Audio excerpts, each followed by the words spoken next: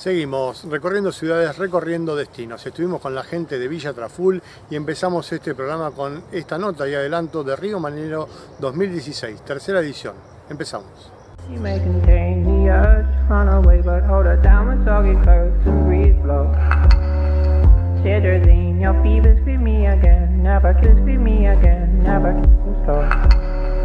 Do you know where the go? They go along to take your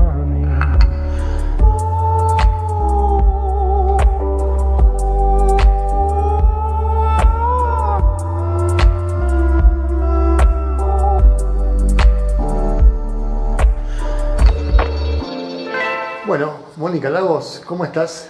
Hola, ¿qué tal? ¿Cómo estás? Muy bien, ¿y vos? Bueno, una vez más eh, están encalando y desarrollando el desafío Río Minero en Villa Traful, ¿no? Sí, estamos con la tercera edición, que va a ser el 27 de noviembre, en Río Minero, ¿no? Bien. Eh, Villa Traful, eh, todos ya más o menos la conocen. este año nos arriesgamos un poco a, a meter 31 kilómetros Además de 10 y 21, agregamos 31 kilómetros. Ah, bien. Todos conocen la maravilla de lo que es Villa Traful, imagino lo que es entonces correr y estar presente en este running que viene cada vez con más cantidad de gente, ¿no? Sí, sí. El, eh, digamos, el running este eh, lo que tiene diferente de otros es que es una carrera bastante dura, ¿sí?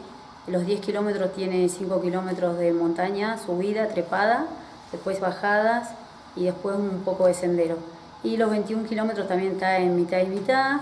Y los 31 este año va a ser brava, tiene unos lugares muy peligrosos, también tiene un lugar que se llama el Sanjón del Diablo, ya la palabra lo dice todo.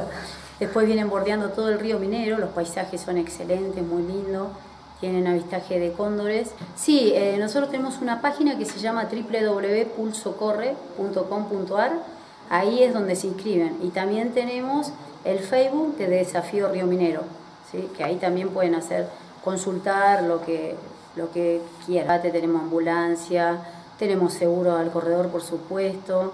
Eh, además tenemos un médico a cargo también. bueno. es bueno decir eso que cuenta con el apoyo también de Sí, de Villa Traful, sí, sí, contamos con el apoyo de ellos.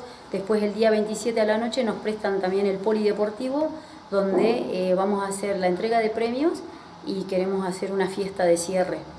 Bien. Eh, con baile para los ah. corredores. Buenísimo.